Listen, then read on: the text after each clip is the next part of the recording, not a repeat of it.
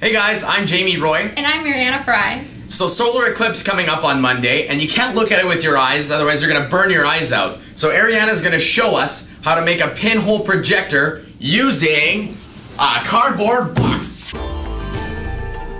So here are the things you're gonna need.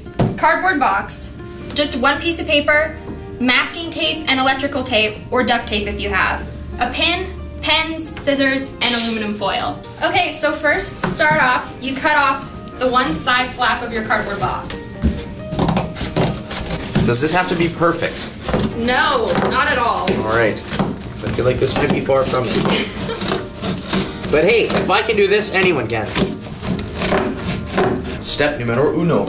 Okay, so here what you'll do is cut each of these flaps in half so you have space to put your head inside the box. So the idea is on one side you'll cut a hole and put your aluminum foil there and poke a pinhole through it. When you face the sun, the sunlight will come through there and it'll project onto the back of the box where we have a piece of white paper and you can watch the solar eclipse safely without burning your eyes.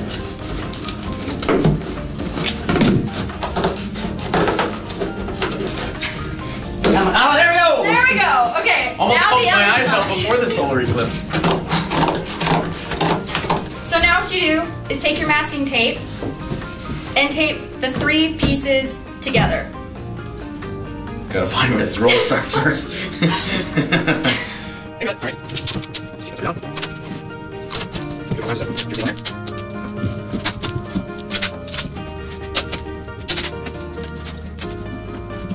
You have to make sure that all corners of the box, and for us, the bottom of our box, you have to cover all of the holes so no light can get in. So this is where duct tape would work better, but since we don't have it, we'll be using electrical tape. So once you got all your stuff, this project is actually pretty easy. So moms or dads, you guys can do this, do this with your kids, and you can even do it Monday morning right before the eclipse. Now the bottom is sealed. Okay, so on the side of the box that doesn't have the flap, you want to draw out a small rectangle, cut it out, and then cover it with aluminum foil. Yep, Beautiful. now you just have to cut it out.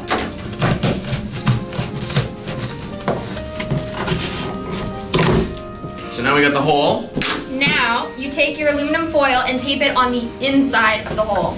You want it to be as smooth as you can and also put the dull side facing out.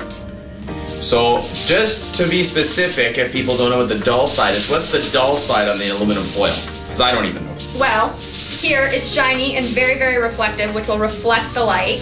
And if you flip it over, it's not quite as shiny and it won't reflect the light as much, which you want facing outside so the light comes into the box. Which side is it on? The doll side. Oh, Out. Okay.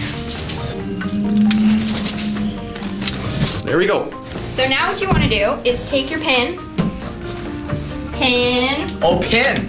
I you said pen. And press it directly down and then carefully pull it up. Perfect. And now for the final thing, you take your piece of printer paper and tape it down on the inside of the box. That is gonna be the screen of your projection box. So when the light comes in through the pinhole you made on the opposite side, it'll come up on the paper. All right, so that's it. It's ready to go. Here's the one I made, and now we can go watch the eclipse safely. Let's go. All right, so now we're outside, and we're gonna see if these things work. So you just put it on your head, point it at, point the back part where the tinfoil is at the sun, and then you just kind of align the dot with the paper. Hey, there's the sun, and I'm not burning my eyes out. You see that dot in the center of the paper, so that's where the sun would be. So now you can watch the solar eclipse and save your eyes. And now, with just a few minutes of work, you guys can watch the solar eclipse safely.